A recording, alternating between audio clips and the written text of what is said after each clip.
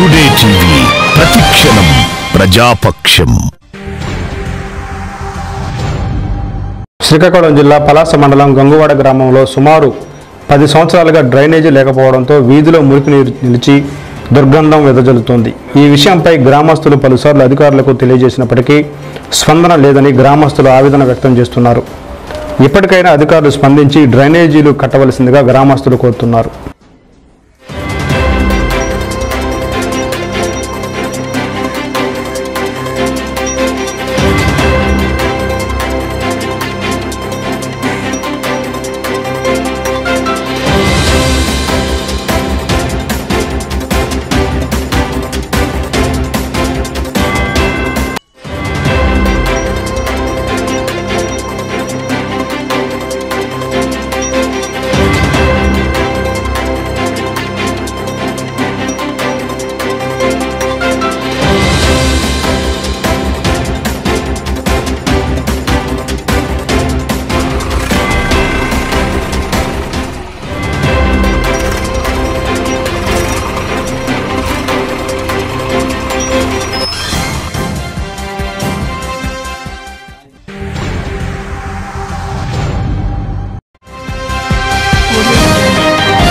Today TV ప్రతిక్షణం ప్రజాపక్షం.